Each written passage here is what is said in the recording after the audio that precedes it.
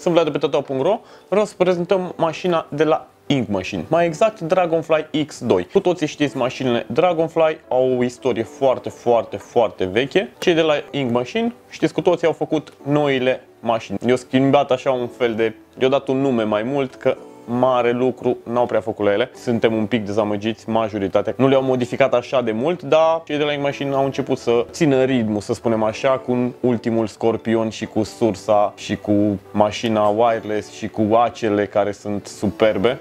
Așa avem cutia specifică, o știți cu toții, vestitul burățel.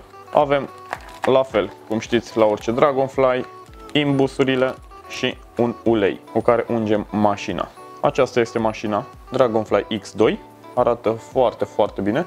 Motorul este elvețian de 6W. Tot timpul vă spun este de 6W, este un motor foarte, foarte mare, adică de putere foarte mare pentru o mașină, pentru un corp așa de mic. Majoritatea mașinilor, după cum știți, au motor de la 3, 3,5, 4, 4,5, 5. 6 au foarte, foarte puține. Dacă știți, are motoarele de la Stigma, care aveau motorul la special de 6 și de 10, era dita mai, cel de 10 era dita mai gros. Nu multe au motor de 6. W. Deci este un motor foarte, foarte, foarte bun. Este un motor cu o eficiență energetică de 86%, ideal pentru folosirea cu baterii, împreună cu sursa originală RPS 600. Se poate folosi cu toate tipurile de AC normale sau cu acele cartuși dacă îi punem adaptor. Cei de la Ink Machine recomandă că merge foarte bine cu sursa lor. Sursa lor, după părerea mea, este un pic scumpuță, dar e o sursă care pentru mulți își merită banii, că este chiar super, super ok. Dacă doriți folosirea aparatului cu AC cartuși, trebuie să înlăturați o piesă. Pentru mai multe detalii, chiar vă rog să intrați pe site la noi,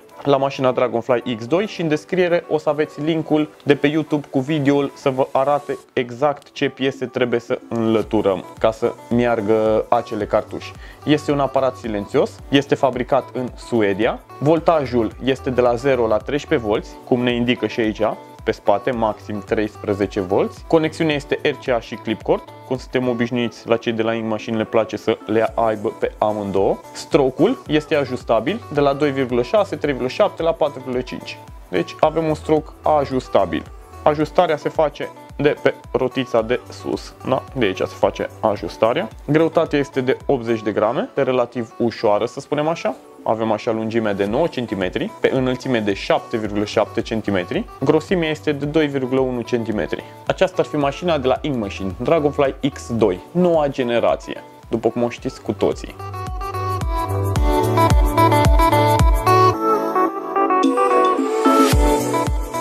Eu sunt Vlad de pe Total.ro și cu mare plăcere ne revedem la următorul video.